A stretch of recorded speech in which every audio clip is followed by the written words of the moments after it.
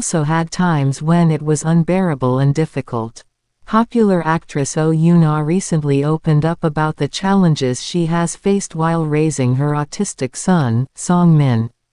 The actress shared her personal story on the upcoming episode of SBS's Strong Heart.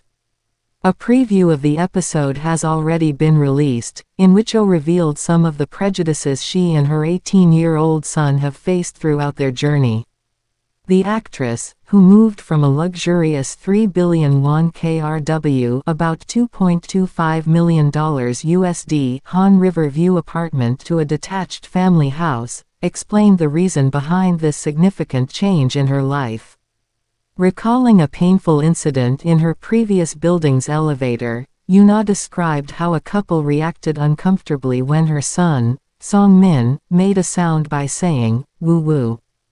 The discomfort escalated when the man made a shocking remark in a loud voice, leaving the actress and her son visibly upset. The cast members of the show also couldn't hide their anger at the insensitivity displayed by the couple.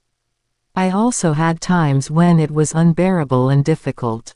The actress spoke about the challenging moments she faced as a mother, acknowledging that there were times when frustration led her to express her anger. However, she emphasized that caring with love had proven to be the most effective form of communication with her son. Despite the hardships they have faced, Oh also spoke about the positive changes in her son's life since he started appearing in entertainment shows.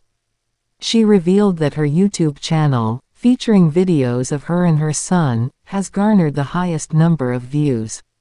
The actress even mentioned that during filming, people often recognize her son Min before recognizing her. Yoon-ah seemed over the moon over the fact that her son is considered the best guest on the shows. Strong Heart is a popular SBS talk show hosted by Kong Ho-dong and Lee Seung-gi where guests are able to share their emotional stories with the public.